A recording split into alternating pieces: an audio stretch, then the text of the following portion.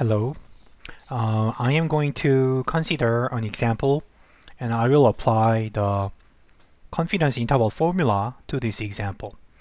And I updated the, the example recently, but uh, even it, it, it may be totally different from the reality.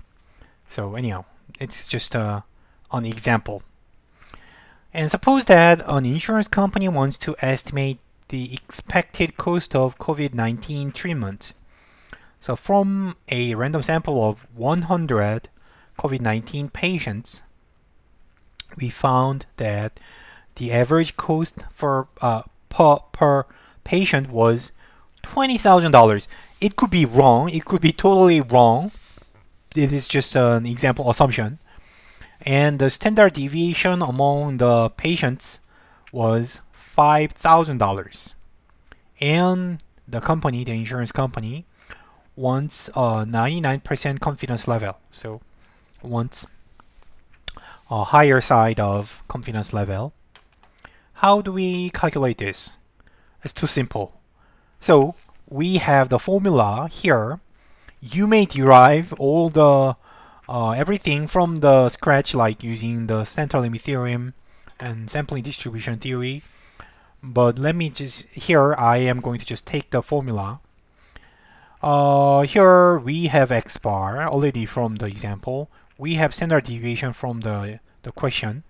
And sample size was 100 so square root of 100 is 10 so these three guys are cleared. Uh, then you just need to worry about how to calculate this guy. And it it's not that difficult. The simplest way maybe just look up the table and just take this number. Or I I don't recommend that. Uh, like more uh, better way is to think about the error probability and imagine that the error probability splits in half to each side, which is 0.5%. So error probability is 1%. Its half is 0.5%. So top 0.5% value satisfies the cumulative probability equals to 99.5%. So use this probability uh, and use the standard normal CDF, then you will get 2.58. which is this number. Anyhow, then plug this in. Everything is known. Nothing more you need to do. Just plug in the numbers. Margin of error is 2.58, the z value, times standard deviation 5000, divided by square root of n 10, and you get 1290. And this is the margin of error you add and subtract this margin around the point estimator to the point estimator. So the point estimator is the sample average, which is 20,000. 20,000 minus margin, 20,000 plus margin, these numbers. That's it. This is, I used semicolon here, confidence interval from $18,710 to $21,290. That's uh, the estimated interval for the, the mean of COVID-19 treatment cost. Uh, okay, just as, as simple as this, you just, there is nothing much to do. Uh, if you can, maybe the most difficult part of this calcul algebra is taking the square root. Uh, you need a calculator to do that. But I, I usually I use n equals to 100 or 400 to make it easy. Uh, then it's your turn. Try this. Everything is the same, but now consider 90% confidence level. Data is the same, but the confidence level dropped to 90%. What is the confidence interval? Find, uh, do the math, uh, and and then check the answer after you finish your algebra. I am going to turn to the next page now. just use the formula and this is the answer. 90% is the confidence level. So error probability is 10%. So it's half 5%. So you need to find cumulative probability equals 95%.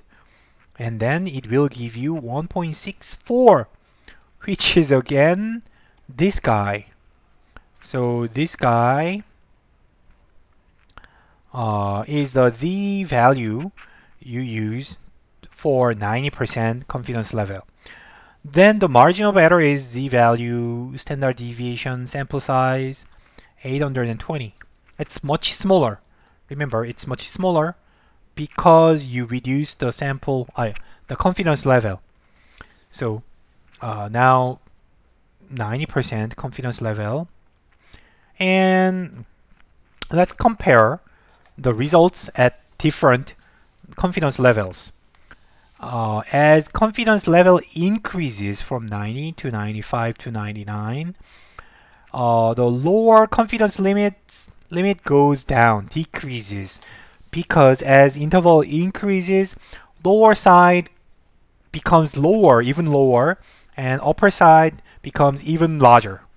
So uh, lower confidence limit decreases, upper confidence limit increase increases so that the interval widens. It becomes wider. It's a simple, uh, you can check it by simple math. Um, okay, now here, okay, it's so easy to to calculate the confidence interval. I took it took like an hour to derive the formula, but applying the formula takes a minute. So anyhow, which is good for you. But now we I'm going to uh, consider another interesting question. We want always we want a higher confidence level and smaller margin of error at the same time. But as I described earlier, there is a trade-off between them. So in theory, you cannot achieve both of them at the same time. But actually you can. There is one way, which is to collect more data. Uh, it's more fundamental and maybe uh, costs a lot.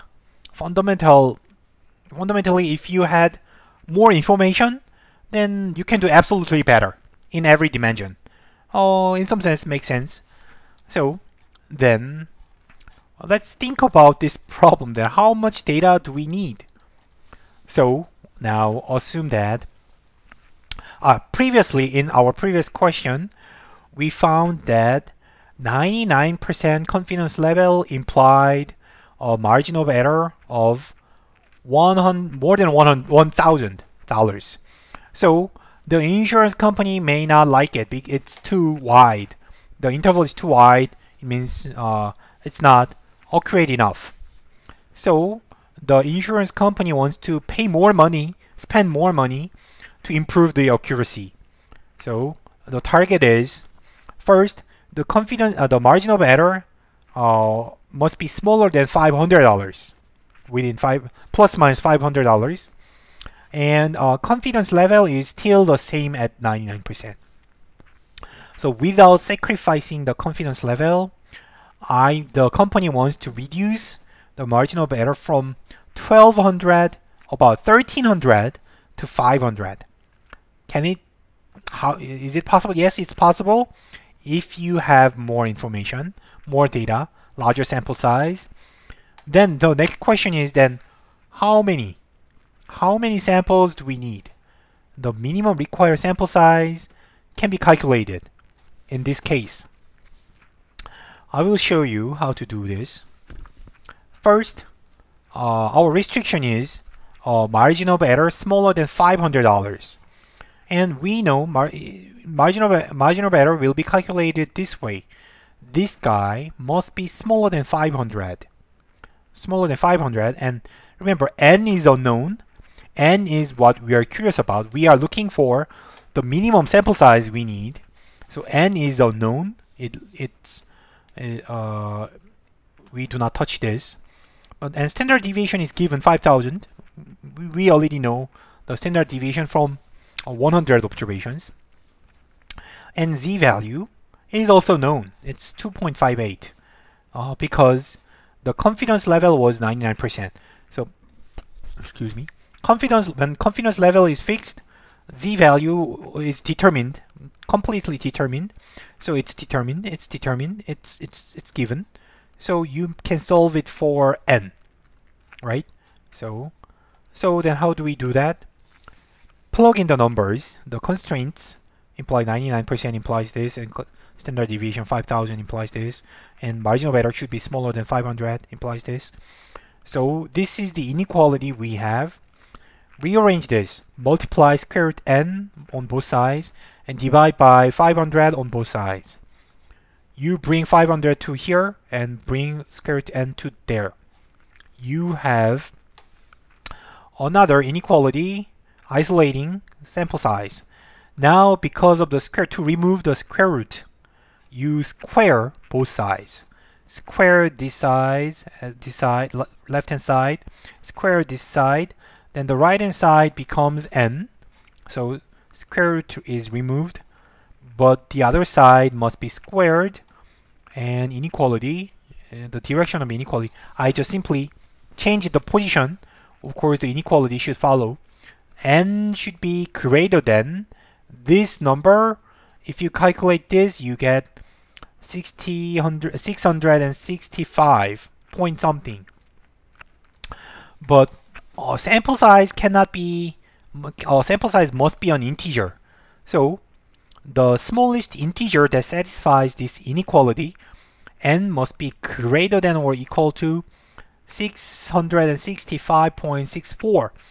665 does not satisfy this inequality. To satisfy this inequality, the sample size must be at least 666, right? That's the minimum sample size you need to satisfy the accuracy.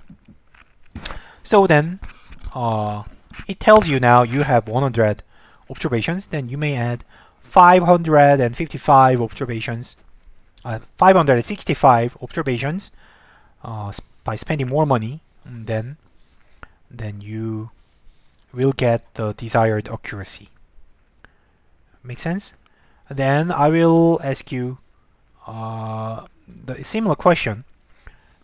The structure is the same. We use 99%, but I want the insurance company wants even better, even better accuracy our margin of error has to be smaller than $300. What is the minimum sample size to do this? Uh, please do the algebra and and do it by yourself. And I am going to turn to the next page and you have to stop the video if you have not finished algebra. But idea is the same. We have this inequality and we know this guy is 2.58 because we still use the same 99% confidence level. So z value is fixed at 2.58 and it's just a matter of uh, solving this inequality. Solving this inequality requires squaring, squaring both sides. Uh, then you get n greater than 43 squared, which is 1849. So exactly an integer, so this is the required sample size. You need 1800, if you have more than 1800 observations, then you can reduce the margin of error to this level without sacrificing confidence level. So this is uh, in statistics, this is the experiment design or survey design. You want, you, you of course, statisticians design uh, the survey before uh, getting the result, but like how much, how much, how much sample size we need and uh, how much accuracy we need, and considering all of that, uh, statisticians design a sample. And what I explained is the very, very basic uh, fundamental uh, idea of how we design a survey. You are going to see a more realistic uh, example related to this in the next video. Thank you for watching this. See you in the next video.